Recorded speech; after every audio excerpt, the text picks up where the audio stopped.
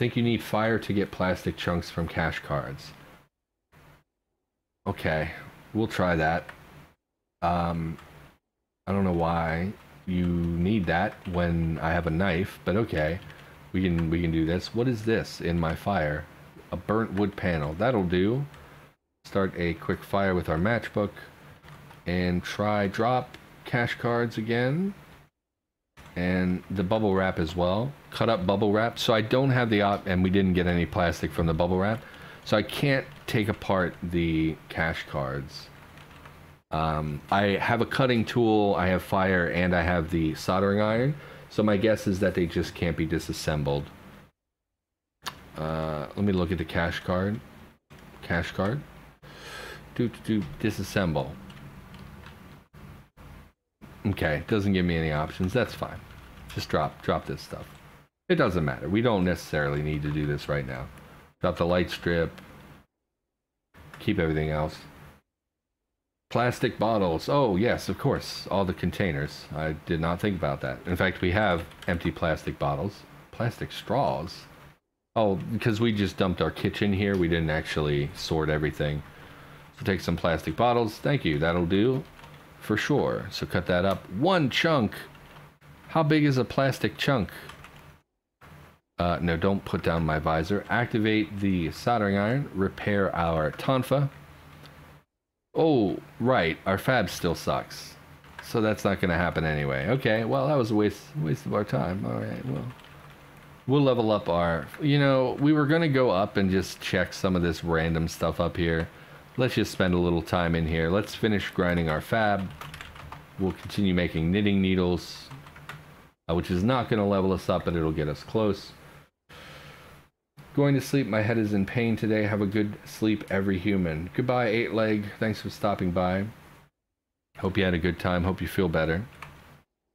Mm, and I'll see you. Uh, I'll see you around.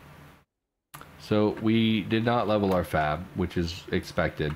We didn't have that much wood. Let's go next door. Hmm. Give me a plank.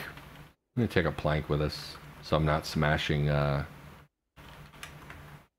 can't fit the tonfa. Okay. Well, we'll go around back because we really don't want to end up fighting an enemy. But anyway, we'll go next door to the other duplex and gather more wood. Gonna need splintered wood for uh, for the knitting needles and things. Uh, you know, and we can take basically everything with us, so we don't need to be too, you know, concerned about picking up extra items along the way. We do need to watch our stamina as we smash, get our heartbeat under control, collect the wood and things. Ignore, please don't come over here. Tough zombie, I don't have any interest in fighting you. You learned something, so not completely wasted. I guess if you're an optimist, I am definitely not an optimist. So when I say I wasted time, oh boy, I wasted time. Grab everything, smash up the desks, smash it up, um, and that should be that should be fine. Get our stamina back. Haul all this garbage next door. We're gonna take all the rags with us. It's gonna slow us down. Uh, so maybe we won't take all the rags with us, but we'll take some. Same with the books. We don't really need them, but whatever. Grab um, just like 60 rags out of there so that it slows us down a little bit less. So that would be, yep. And we'll just haul the rest next door. We'll still quite a lengthy period of time to move. We don't have a proper timekeeping source, which is um, something I don't usually think about because usually every character has a cell phone or something on them. But of course, we started as a prisoner, which uh, would not have access to a cell phone. Prisoners are permitted to have watches, um, but I don't think we saw any watches. Uh, and I did see a short hair cat in our apartment here, but I'm not super concerned about that either. Zombie spotted. Um, I can't see it on the minimap. It looks far away. Please don't come over here and murder me. I gotta remember to close my front door when I'm not doing things. Drop uh, the plank, shut the front door, wield the tonfa, and sort our zones so that the wood comes up here to where we're going to be crafting. Should be a fair bit of splintered wood, which will let us keep making knitting needles. So let's grind our fab, P-fab, knitting needles. We'll make like four more should do it, I think. Oh, I haven't grind, grinded skills in a while. Is becoming trivial. Uh, and let's go see if we can get one more fab. Uh, and we can swap to books maybe if we find we're struggling or anything. And I'm trying to remember what I usually make. I think the distaff and spindle is what I usually make. Uses planks though, unfortunately. Go ahead and make 10 distaff and spindle. Oh, so what else is going on with me? I mean, again, pretty boring day-to-day life. I've really been craving playing some World War II games and have been disappointed I can't uh, really seem to manage to do that. Um, so that's been on my mind a lot lately, which I know is not super interesting, but you know, you get a craving for something and then you're like, you know, when you can't get it, it's pretty unsatisfying.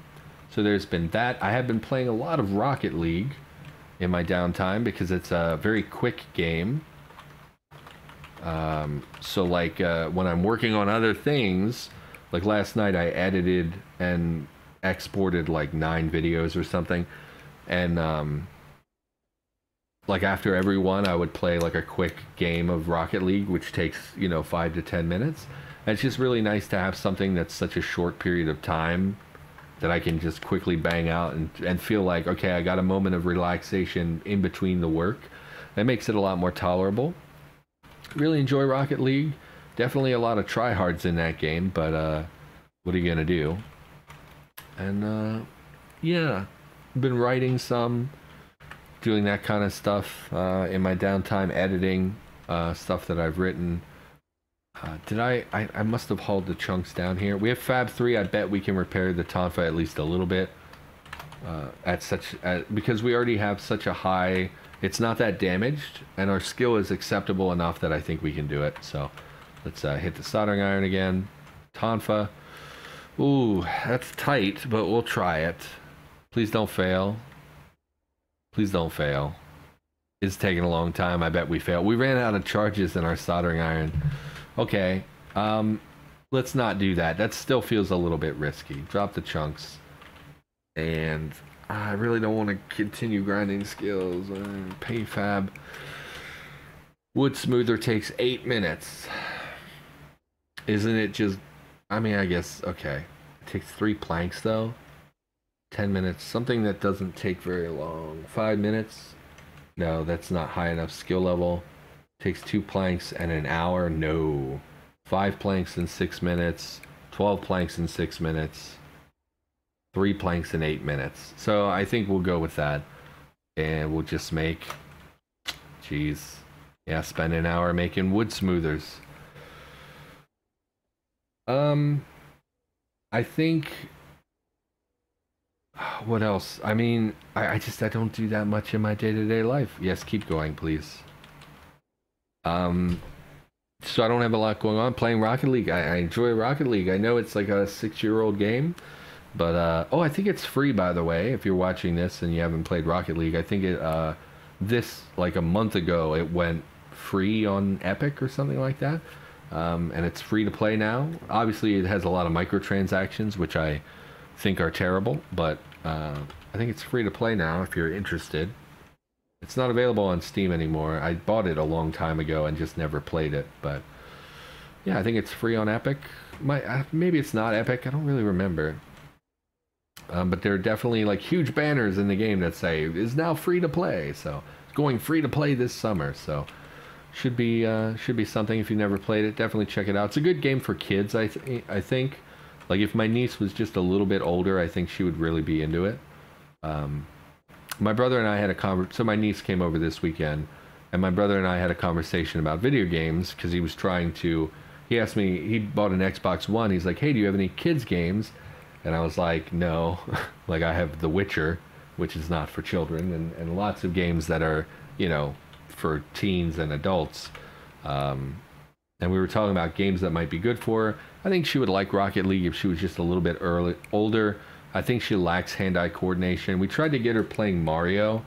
She just could not comprehend jumping and landing on things' heads. Like she can't get the speed right, so she'll overjump and then try to jump back and overjump and try to jump over and overjump every single time. So if she can't handle Mario, she probably can't handle hitting soccer balls with a car.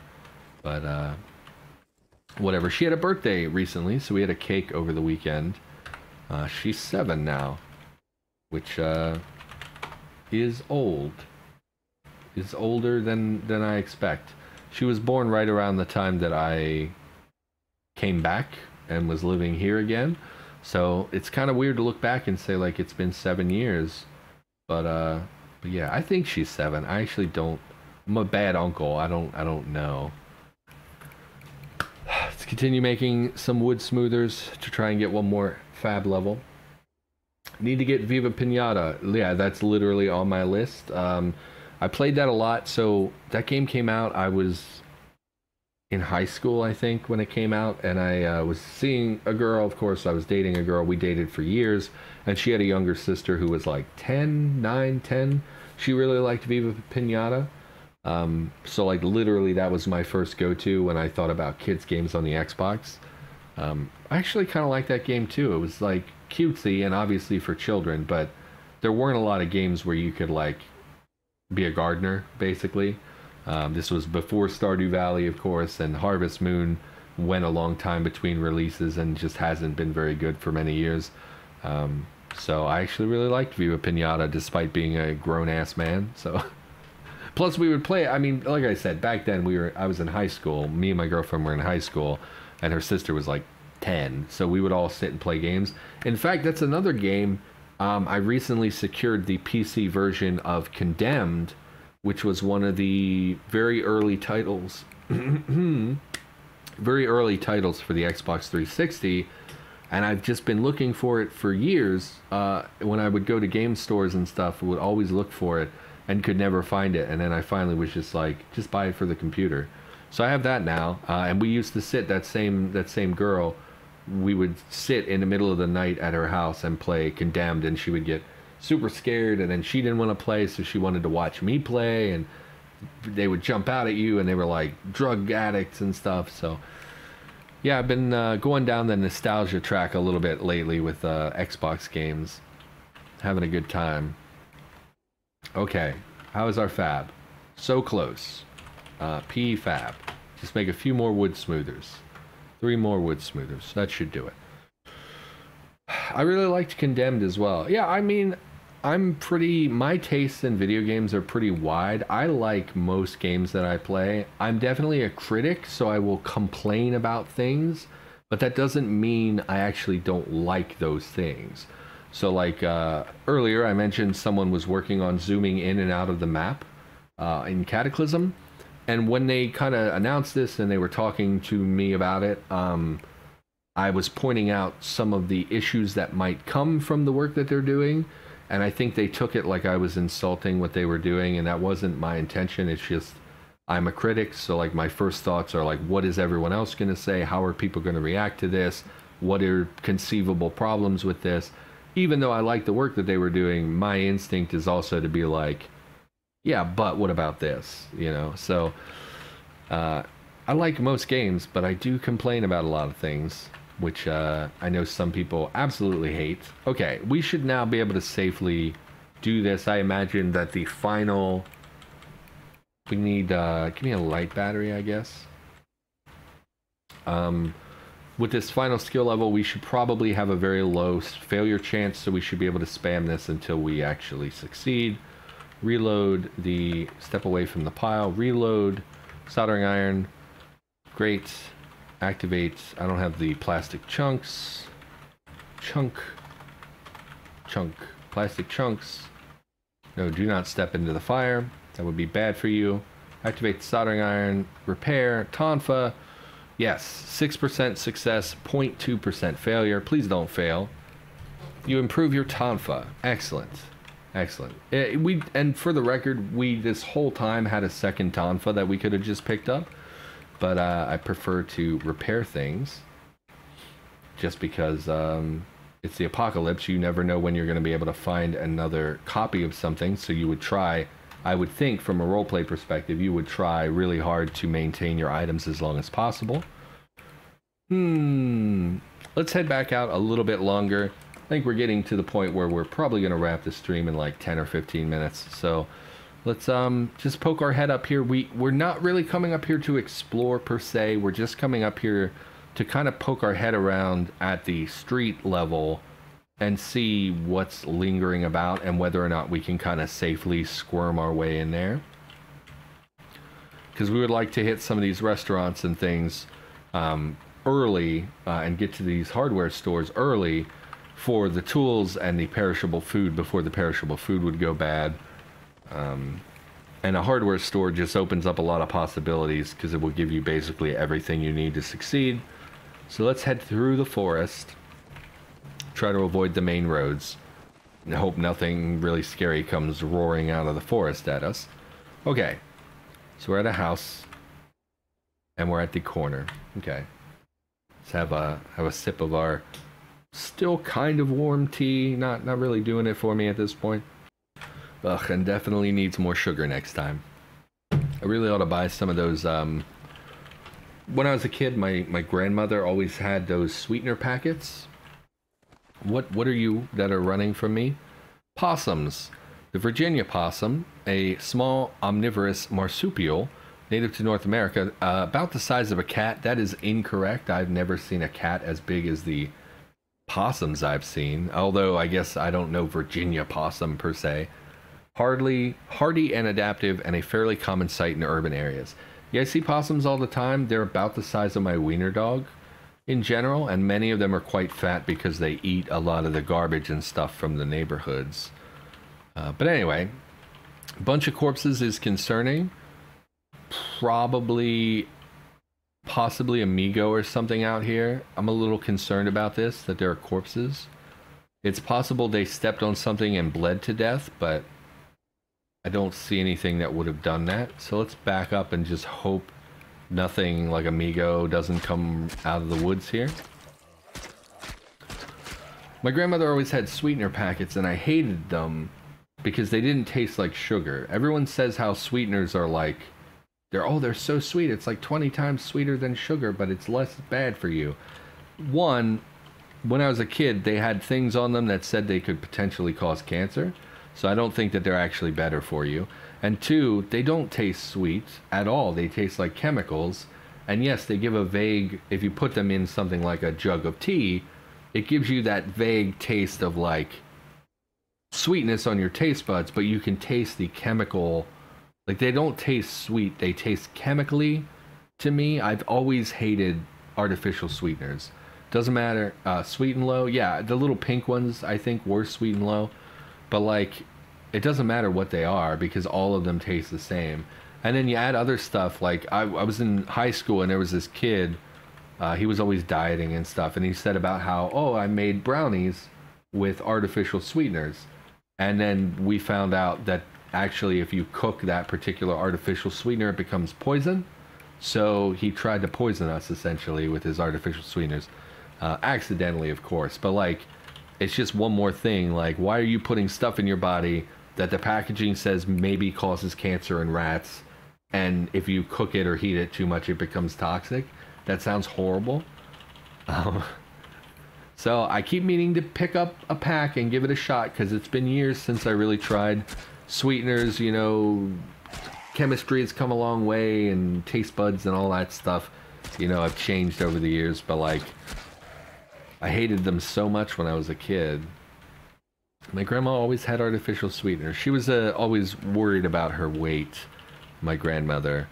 Um, so she was always uh, complaining about her weight. She was always trying to diet and things, and it just never really worked for her. She was a, a big lady for most of my life. Um, and then I think we talked about it a couple, like a year ago. She had had uh, weight loss surgery which was like a, a big deal for her, something she'd wanted for a long time. So I was thinking that only a few were going to come out of the woods. Now that I'm looking, there's actually an enormous number of enemies, uh, I guess, generated from this graveyard, and they're migrating towards us. So I think honestly, we should just leave. There's no reason for us to fight these enemies. I think we should just leave. Which is disappointing because they're flooding into the area we wanted to explore. So, yeah, just gonna head back to base and um, kill any that follow us all the way back. So exploring is a no-go. Sorry, sorry, internet. Uh, Splenda is the better tasting one. Saccharin still tastes bad. I'm my brain says aspartame. I don't know if that's an artificial sweetener or if I'm just plugging in words from other parts of my brain, but I kind of think aspartame was the one my friend cooked and it, it was poisonous uh, when you when you bake with it. We also walked out here like an idiot, so we because uh, I was looking at chat while I was walking, so we picked up a few stragglers here we might have to kill, which is not great, but whatever. It is okay. Yeah, I thought aspartame was was what I was thinking of. Um, but yeah, I don't I don't really know the different sweeteners. I know there are a lot of people who drink diet soda and they put you know artificial sweeteners in their tea and coffee. So it's one of those things. It's like obviously a huge portion of the country takes in those artificial sweeteners on a daily basis. So how bad could they be really? Um, so I just need to give it a shot. Uh, and that was part of like when I was thinking about getting the coffee maker to make my tea.